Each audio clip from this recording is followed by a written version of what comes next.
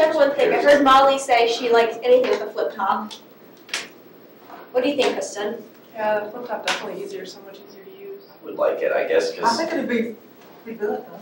I mean, I've dropped the cap into the washer before, next to the washer, under the washer, you know, so. Mm-hmm. Okay. So losing the cap is a big deal. When you're scrounging around under your dryer, if this is a refill and it's going into a smaller neck opening, obviously that would That's be the point. cap again, control, and it would not send it. Because I probably would end up using a funnel with this, I know what you're looking at. yeah, because I would, it would be everywhere, so Okay, it's kind of like a built-in funnel. so it seems neater. Mm-hmm. Mm-hmm. Uh, Molly, I heard you say before that you would always pick a flip top. if I could, on these kind of products, because they're bulky anyway, and if I can just flip the top up and not have to worry about, you know, having a place to put that down. Plus, I, I think there's a little bit of safety in that if both of these spill, this one's gonna spill out a lot more than this one. Okay. So a quick show of hands, how many of you like the blue flip top better?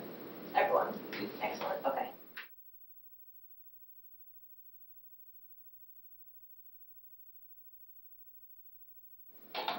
They glue the orange ones on. We. Sweet mother, It's gonna be my massiveness. the full. Oh my god, okay. You just had a massage this one, it hasn't worked in a while. Yeah, try that one. Your own, you know. Oh, I didn't want. This is a different. Or these right or something. Yeah. it's Forgot more that we're control. sharing everything. Yep. But Yeah, it's that's still fine. on. Anita, which one poured better? Blue. Yeah. Far superior, no drips, Didn't drip it off on me either. very smooth. Scott? I would agree.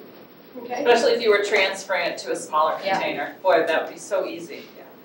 What did you think, Marty? I like the blue all the way around. Okay. And why? Um, whether it's for filling another container or just pouring it in a cup, it just pours easier. Okay. More control than also.